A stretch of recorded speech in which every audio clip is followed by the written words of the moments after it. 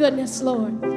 So we're here to worship you tonight, God, to magnify you in this place, to lift you high.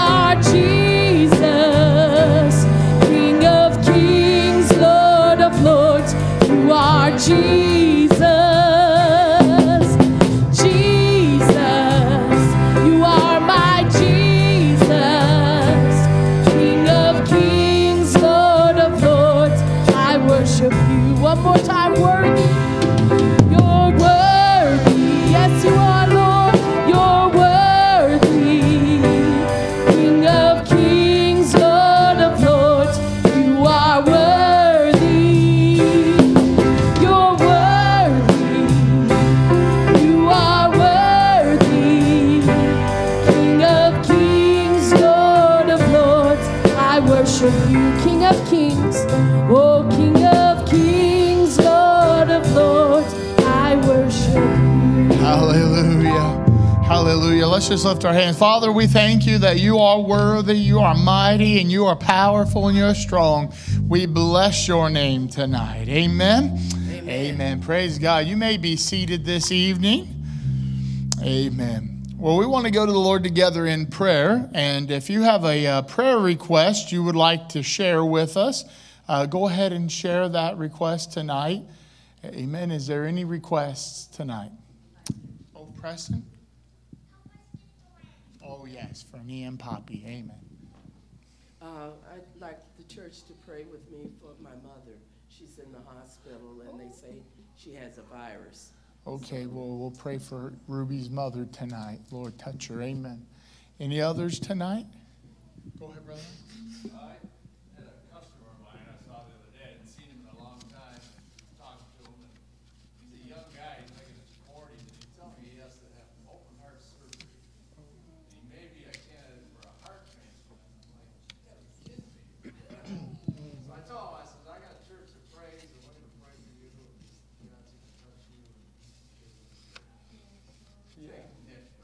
We'll pray for him tonight. Lord We'll touch him. Amen.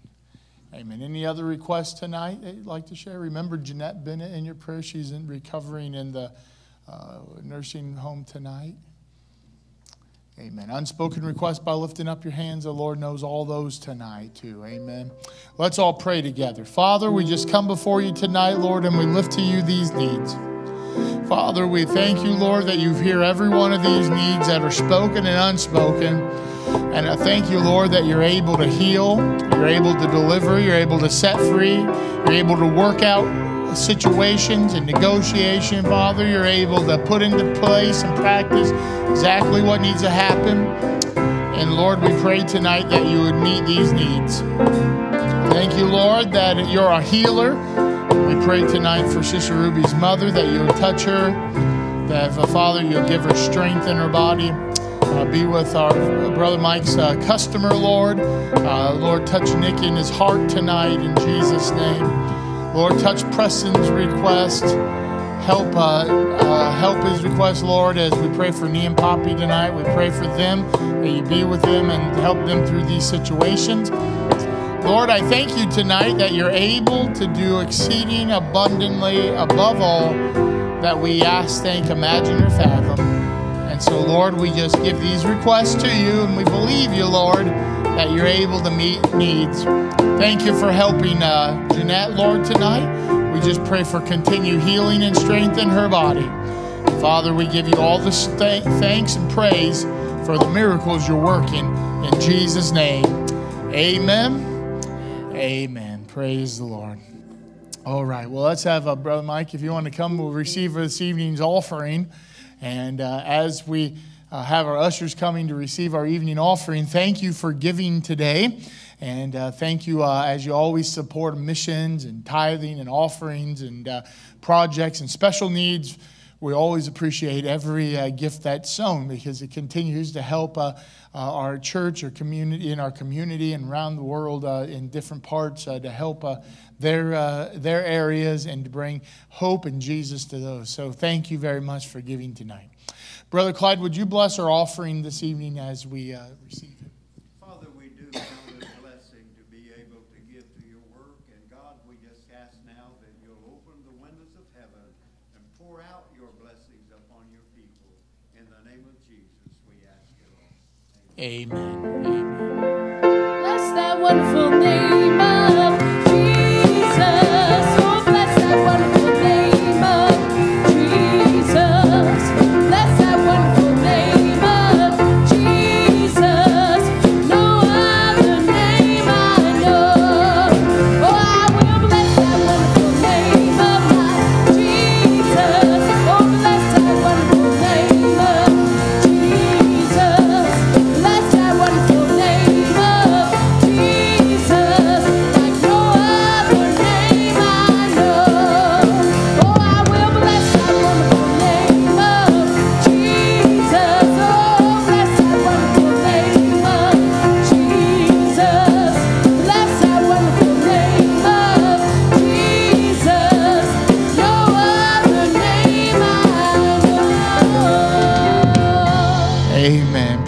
thank you, musicians and uh, praise team. We appreciate you all tonight. Amen.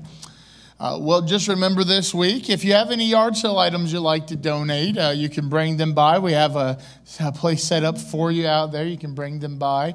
Uh, also, uh, we have uh, some things going on in the bulletin. Pick one of those up. You can make sure you get all the upcoming dates down. And uh, we got a lot of great things going to be happening this month here. So it's a great uh, and exciting time that we have coming up. So make sure you get one to get all the dates. And then also, uh, before uh, Brother Ray comes tonight, we have a special song that's going to be sung to you by Brother Dwayne. So as he comes tonight, would you give him a good hand as he comes to sing for you tonight? Amen. And I appreciate Brother Dwayne because I love his blowing the shofar. And every time we do uh, uh, Days of Elijah, I'm so glad he blows that shofar for us. Amen.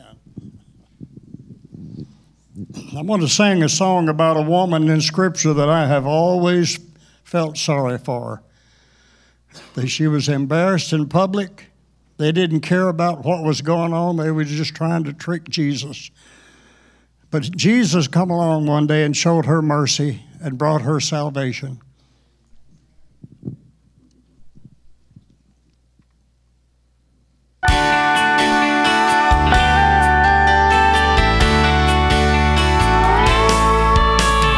By the proud worshippers, scorned for her sin, was this poor wanderer rudely brought in. Then came the Pharisees, anxious to see what the meek Nazarene's verdict would be. Still cried the Pharisees, Pray, Master, pray. What shall we do with her? What dost thou say? Spoke he rebukingly, let the first stone come from the sinless hand, and thus alone cheeks blushing with their shame, turned each about, and from his presence walked silently out.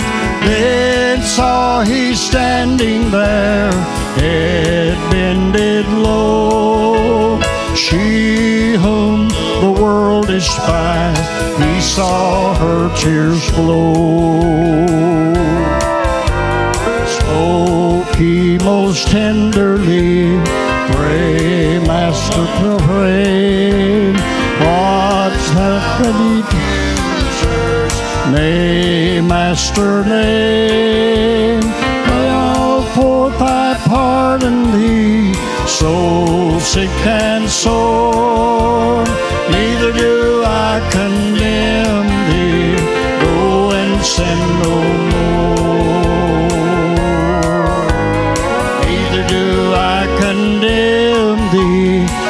precious words divine, falling from the lips of mercy, like the sweetest chimes.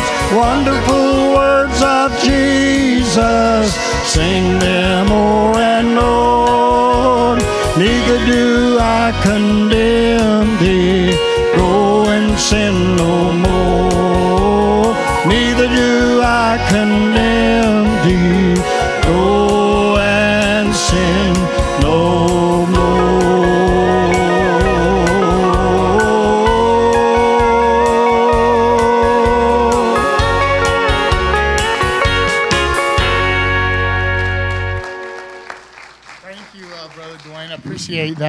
tonight. Amen. All right, well, as uh, we get ready to open up the Bible tonight and uh, hear a word of the Lord, let's give Brother Ray a good hand as he comes up tonight to bless you. Amen. With a good sermon. Amen. Thank you for speaking tonight, Brother Ray. It's so good to be able to have him speak. You know, for a long time, he's been having a work schedule that's not been letting him uh, be able to speak. But uh, finally, that's what I said. I said, Brother Ray, are you. Um, uh, working nights or weekends this coming week. So he said, no, he's not doing that anymore. So I said, well, it's a great week for him to preach for us. So thank you, Brother Ray, for preaching tonight. Yes, Bless thank you, Brother Brian. Bless you. Appreciate you. Amen. It's it's good to be in the house of the Lord. You don't realize sometimes how much you miss it until uh, work tells you, "Oh no, sorry, you have to be here." And you know, when I hired into my previous employer, I told them, you know, I don't want to work Sundays. I mean, I understand that sometimes that happens and business comes first, and I don't want to not get my not get hired because I refuse to work Sundays. And uh, they, oh no, no, we we appreciate that, we like that. And then uh, a few months in, they decided that uh, it was a little more important to work Sundays than it was to, for me to be in church. But uh, about four months ago, I had knee surgery, and while I was out from work recovering, a job recruiter called me and asked if I was still looking for work. And I was like, uh, no, I'm, you know, I'm, I'm progressing pretty quickly here at my other job. I've been here about a year and a half now, and they, they really like me. So the only problem is they keep offering me these new jobs on afternoon shift. It's like, we want to make you a supervisor on afternoons, or we want to make you our setup guy on afternoon shift. I said, I'd really like day shift. She's like, well, I can get you day shift. And so I threw out a number, a little bit more than what I was making. So if you can get me day shift making at least this amount of money, then I'll, I'll be interested in it. So she called me back the next day with three different jobs and she wanted me to set up an interview. And I'm like, well, I can't go on an interview right now. I can't hardly walk. I just had knee surgery. And she's like, well, when do you go back to work? I said, well, I'll go back to work in two weeks. So I'll set you up an interview for next Thursday. You should be better then, and uh, you won't have to worry about your job interfering with going to the interview. And I went in there. The owners are Christian. They don't work any Sundays. And uh, the the the plant manager was talking to me and and you know he's like well you know why are you looking for another job and i told him i said well because i have young kids and uh, right now i don't see my daughter monday through friday i go to work at i have to leave my house at 2.30 to be down in brighton by 3.30 and she don't get home till 3.40 so i don't see her after I, I drop her off at school on monday and i don't see her again until friday you know i can peek in and look at her sleeping but that's about it and so i want day shift and he's like, Well, if we hire you, you'll never have to work afternoon shift. So I was like, All right. you know, and uh, so they, uh, they walked around, showed me where I'd be working. Um, all the, the good machines in my old job, you had to come up a two, three foot platform to get up there to work, all these steps and stuff. And this machine's right down on the ground. I don't have to go up and down any steps. it, it's good for my knee. It's, uh, it just seems to be a blessing from God. When I wasn't even looking for it, God heard my prayers, He heard my cries, and He opened the door for me. And so I do believe that it's the Lord, and I give Him the praise and the glory for it because, like I said, I wasn't looking. And so, um, but it is good to be in the house of the Lord today. And uh, as I was reading my Bible and studying a few days ago, God, uh, I was reading a devotion, and uh, I was reading in Psalms, and, and I didn't even realize that my Bible had gotten clicked over to the NIV.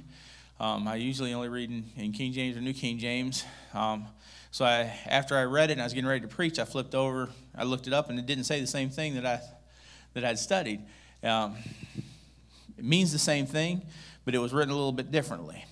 So if you have your Bibles with you, I want to turn to Psalms chapter 16, verse 12. Um, and I want to read what it says there. And this is David. Um, this is one of David's prayers. And, and, if, and a lot of times in the Psalms, he starts out the psalm praising God, then he gets to where he whines and complains a little bit about everything that's going wrong.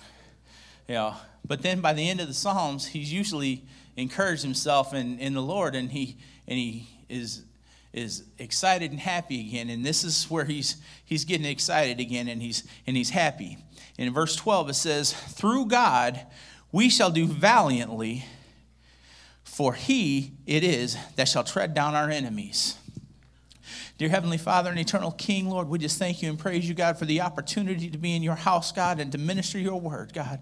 And Lord, I pray right now, God, that you would just make me an empty vessel, God, that I could pour out what you have poured into me, Lord. And we just give you the praise and the glory for everything that you've done, God. In Jesus' name, amen. And you may be seated. Now, when I first read this, it said, With God, we will gain the victory and he will trample down our enemies. And that with God just kept standing out to me. With God, with God, we will gain the victory. With God, we shall do valiantly. And then the Lord started bringing scriptures to me where it said, with God. You know, and Enoch walked with God, and he was not, for God took him.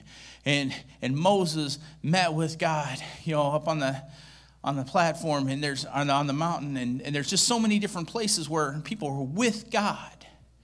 And so i'm like lord what what can we do to be with you? What examples are there of people who were with god?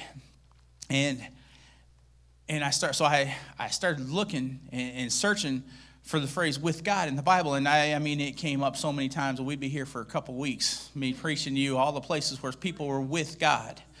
But as I was reading, it, it caught me off guard that one of my favorite stories in the Bible talks about being with God. And so um, back in 1 Samuel, in chapter 14, now, this has already happened, so I'm going to set the, the story for you a little bit. The Philistines had captured Israel, they had taken away all the weapons of war from everyone except for Saul and Jonathan. And so, Jonathan and his armor bearer are sitting around talking. And Jonathan says to his armor bearer, You know what? the Lord might want to do something today. He may want to do something. So let's let's me and you go over towards that Philistine garrison and just see what the Lord's going to do. So Jonathan and his armor bearer went over, and, and Jonathan laid a fleece before the Lord. And he said, When we get over there, if they yell down to us to get away, go away, then God doesn't want to do anything. But if they say, Come up to us, we want to talk to you, then we're going to go up to them because God has given them into our hand.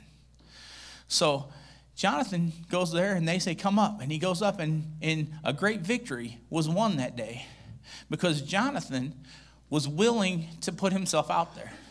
God didn't tell him to go. He decided, you know what, I'm going to go just to see what God's going to do. He got there, and a great victory was won that day. And, and Saul and all the army are sitting over here on the edge hiding kind of. And and Saul had given a command. You know, it's like everybody stay here. And when they seen that there was a ruckus going on, there was a something was going on. They they counted who was not here, and it was only Jonathan and the armor bearer that was missing. So Saul, in himself, said, "If any man eats today before this battle is won, then they will be cursed." So they go to see what's happening. And Jonathan's setting this whole garrison of Philistines on their ear. He's, he's just, he's got the victory. They're running and fighting, they're hitting each other, they're doing stuff. And so the Israeli army joins them and they chase them out and they chase after them. And Jonathan's been fighting for a while and they come through and there's some honey. And he sticks the end of his rod in, in the honey and he eats the honey. And one of the guys that's with him is like, Oh, you shouldn't have done that. Your dad said, Cursed is the man that eats before this victory is won. And Jonathan's like, Why would he say that? Look, I was weary and, and tired, but now look, my eyes are enlightened. I'm ready to fight again. And so they went ahead and they fought and they won the victory that day. But then Saul found out about Jonathan. And he said, I have to keep my word. But see, in verse 45 there, it says, And the people said unto Saul, Shall Jonathan die, he who hath wrought this great salvation in Israel? God forbid, as the Lord liveth, there shall not one hair of his head fall to the ground. For he hath wrought with God, he has worked with God. Because he was working with God, he was saved that day. See, there's things, there's times we don't even know what's going on around us. We don't know the circumstances that have happened. And God is protecting us in the background when we don't know what's going on. But because we're working with Him, because we are doing His will, He is protecting us. And Jonathan's life was saved this day because he was with God. And when we are doing things for God, we need to be a little bit zealous, like Jonathan was, and say, you know what? I'm going to make myself ready because I don't know what God wants to do today. But I'm going to be ready one way or the other. I'm, I'm going to be with God. I want to be where He can be with me. You know, and as uh, as I was continuing to read, and you know, as there, there's times when we get zealous and we want to do things for God. And, you know, it's important to be with God in every situation. You know, how do we be with God? And I thought Pastor was going to start preaching in my sermons this morning a little bit when he started talking about Jesus being the door. You know, because in John, Jesus says that I am the way. He's the way to the Father. He is the door to the sheep. He allows us to come in to be in God's presence. In his death, he rent the veil in two to the Holy of Holies so that we might come in and be in communion with God. Jesus is the key to being with God.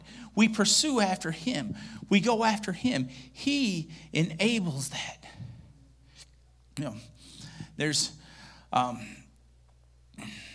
an example in, in Judges. And in Judges chapter 20, some really bad things happened in the previous chapter. And the men of Israel had decided that the tribe of Benjamin needed to be straightened out. So they came together and they, they asked this Levite what had happened, what, what was this terrible thing. And when he told them, they said, okay, we will not go back to our homes until this is taken care of. We will deal with this. So after they had dealt with this in Judges 2018, they went before the Lord. And they said, Lord, which of us shall go up first to battle? And the Lord said to send Judah first. And they went out, and the, the tribe of Benjamin was outnumbered about 10 to 1, and they whooped the snot out of them. They prayed and asked God, what do we do? We'll send Judah first. Who should we send first? And they sent Judah first, and they lost the battle. And I'm thinking, Lord, why in the world would they lose the battle? When they came to you and they prayed, who should go first? And I think sometimes in, in the church world, we get a ministry, we get an idea of something we want to do. And we get all built up and we, we start asking, Lord, how do I do this? How do I do this? Instead of asking questions like, Lord, should I do this? When should I do this? How should I do this?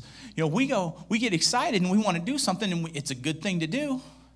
They were right and they were justified in what they wanted to do, but they didn't go to the Lord and ask the right questions. You know, a lot of times we want the Lord to bless what we're doing. God, bless what I'm doing. God, bless what I'm doing. And I believe that it was the, the former general, uh, General Bishop, Brother Hurd, said in a meeting that we need to stop praying that God will bless what we're doing and start doing what God's blessing. You know, sometimes we get so stuck in our ways and we want God to bless what we're doing. And God, I'm doing this for you. I'm working for you. Bless what I'm doing. God, I'm doing this for you. I'm doing it in your name. Bless what I'm doing. And God's saying, You're asking the wrong questions. you're not asking the right questions. When we pray, we need to, to ask the right question God, do you want me to do this? And if He says, Yes, I want you to do this, then we need to ask God, How do you want me to do it? You know, when do you want me to do this? Who do you want me to surround myself when I do this? And we started asking the right questions. They came back after losing that battle and they said, Lord, what do you want us to do? In verse 23, they came back and they prayed again. Do we go to battle? Should we do this? Shall we go to battle against our brother? And the Lord said, Yeah, you should go to battle against them. And they went out and they lost again. They lost 25,000 the first day, they lost 18,000 the next day. And they came back defeated and down. And Lord, what's the problem? And then in verse 28, they fasted and they prayed. And the Lord said, Go up, for tomorrow I will deliver them into your hand. See, when we fight our battles, even with God's permission, there, there can be losses there can be defeat. The war was won, but they lost some battles along the way. But when they got serious and they fasted and they prayed and they put it in God's hands, He went with them. They went with God the third time to battle and they won. The first two times they got permission to go to battle, but they left God back at home and they lost. But when they were with God, they won the battle. And I see, Paul in Romans says that we wrestle not against flesh and blood, but against principalities and powers. And see, we don't fight the wars like they fought, like David fought, but we fight battles on daily situations. Satan isn't happy with anything that you do. You love the Lord, you serve him, any chance he gets, he's going to throw a wrench into your cog. And he wants to dismay. But we still fight those battles. So when we go in those battles with God, when we have spent time communing with God, praying with God, then He goes with us in battle. And we win those battles.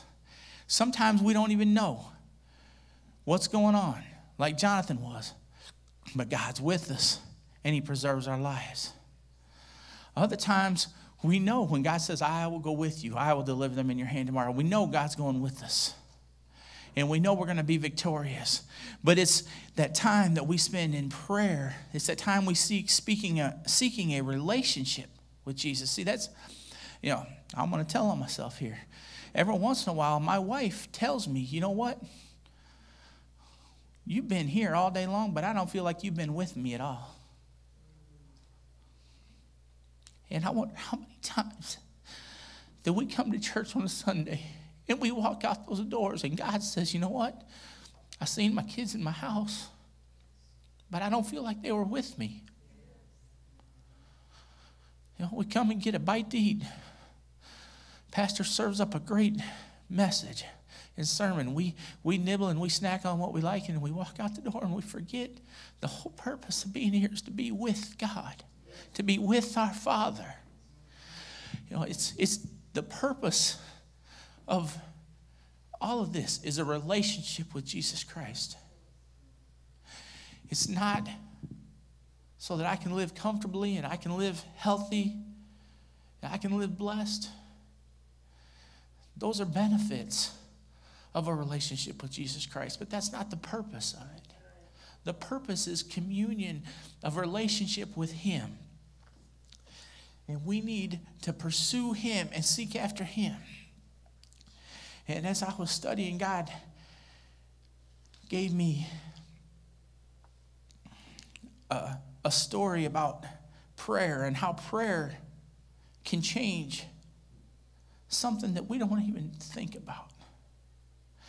In, in Genesis chapter 12, in verse 8, Abraham has heard the call to pack up and leave and go to a land where I'll show you and he's just off wandering. And this is Genesis chapter 12, and he says that, that Abraham called upon the name of the Lord. And this is the first place in Scripture where it's spoken of someone calling upon the name of the Lord or someone praying. But Abraham, as he was traveling, he camped out in the middle of, of nowhere on his way to where God was sending him to the promised land. And he called upon the name of the Lord. And he called the place Bethel. And a little while later, he traveled back and he, he went back home, but he came back again. In chapter 13 and 14, he said that in the same place, in the same spot, he stopped to camp again. He called upon the name of the Lord, and the place was called Bethel. Bethel means the house of the Lord. See, when we get in the house of the Lord and we pray and we call upon the name of the Lord, God remembers those prayers. God hears our prayers. Now, if you're a parent or a grandparent here, this next part ought to excite you. Because two generations later, Jacob has just stolen the birthright and he's running from his brother. In, in Genesis 28 19, we see Jacob stopping on the way. His mother had told him, Go back to my family and find a bride. He's going back the same route that his grandpa had traveled many years ago. And he stops and he lays down on the ground and he sleeps. And God comes to him in a dream. And the name of the place where he had this dream was Bethel, the place where Abraham prayed years ago. God came to his grandson and spoke to him. And it was pretty close to this same place where Jacob was on his way back before he met Esau, where he wrestled with the Lord. See, Abraham's prayers were stored up. Jacob wasn't a very religious person at this time. He was a deceiver and a supplanter. He was doing everything for Jacob. But God came to him even in the midst of this because of his grandpa's prayers. Because of his grandpa's prayers, because Abraham walked with God, because Abraham prayed with God and sought God, Jacob was visited by God. Because of Abraham's prayers a little bit later on, Jacob was able to wrestle with God. And see, from that point on, when Jacob wrestled with God, he was changed. He was no longer called Jacob deceiver. He was called Abraham because he had found favor with God. See, prayers bring us to being with God. But they can reach further than we can ever imagine. I'm sure when Abraham stopped there and he prayed, he wasn't thinking anything about his grandson. But his prayers were still there, stored up. And when Jacob was running for his life and stopped there, God visited him. And because we are with God, he will do the same for us. When we get with God and we pray and we seek his face, he will give us the victory. As David said, with God, we will gain the victory, and he will trample down our enemies. We can have faith and confidence that when we are with God, we may lose a battle, but we're not going to lose the war. Because when we are with God, we can keep coming back just like the tribe of, just like the children of Israel did. God, what did we do wrong? How do we win the victory? And he will tell us when we ask the right questions, when we pray and we seek his face, and when it's become more about our relationship with him than it is the blessings that he can give us. He will give us that victory because we are with him. if you'll just bow your heads with me this morning or this afternoon, this evening. Lord, I just thank you and I praise you, God, for the opportunity to be in your house, God, to be with you. Lord, this is your house. We are here to be with you. Lord, if they came expecting to hear something great from me, they may be disappointed severely. But God, if they came to be with you, you will never disappoint them. And God, I just thank you, God, for the opportunity to be here in your house, God. And I pray, Lord, God, as we spend a few minutes in prayer with you, God, that you would just allow us to ask you the right questions. God, for the battles in our lives, God, Lord, we want to ask you the right questions, God. What do you want us to do? How do you want us to do it, Lord? When do you want us to do it, God? And Lord, just be with each and every one of us today, God, and give us that direction that we need and that guidance that we need.